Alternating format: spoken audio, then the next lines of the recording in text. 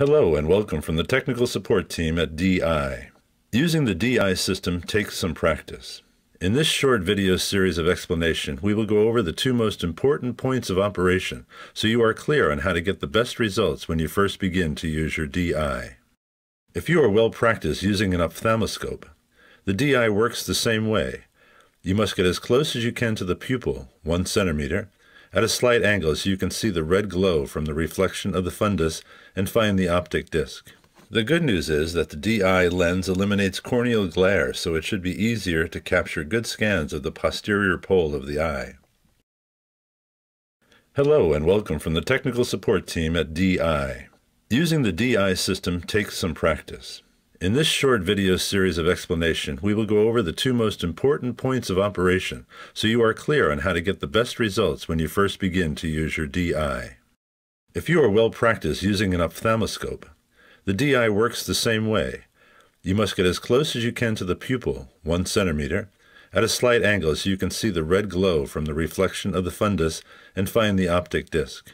The good news is that the D-EYE lens eliminates corneal glare, so it should be easier to capture good scans of the posterior pole of the eye. Chapter 2 Choosing Your Exam Type The D-EYE application offers two types of exams, multi-shot and video. Video is preferred when learning how to use your D-EYE because it allows for an extended time to view the posterior, including the optic disc and surrounding structure while getting used to aiming the lens. Upon conducting an exam, it is best to take 30 second videos so the file does not become too big. Take several videos, save the ones you want, and discard the rest. Click on Retinal Screening, write in patient's name, choose right or left eye, choose video, click Start Examination. It's that easy. Chapter 3 Viewing and Scanning the Mydriatic Eye A dilated eye is easier to scan when learning how to use your D-EYE.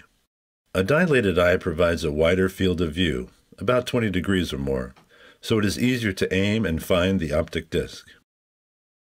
There are important steps that need to be followed so that your smartphone camera will focus properly to ensure crisp and in-focus results. The autofocus of the smartphone camera will begin to adjust as you move closer to the pupil.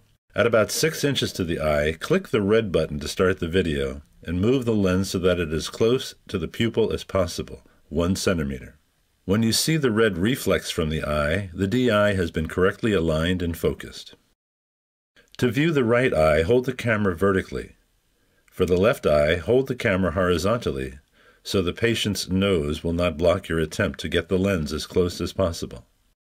On the screen, all you should see is the outer edge of the iris and the pupil. You should see a red glow. Chapter 4 Viewing and Scanning an Undilated Eye. Choose Myotic Eye, where you will see three choices depending on the refractive error of your patient. In the early stages of learning how to take scans of an undilated eye, you need practice before attempting to record videos. Chapter 5 The camera lens should be 1 centimeter from the pupil.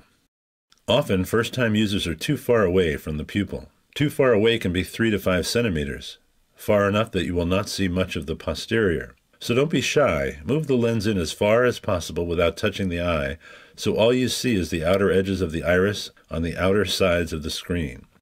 The closer you are, the greater the field of view.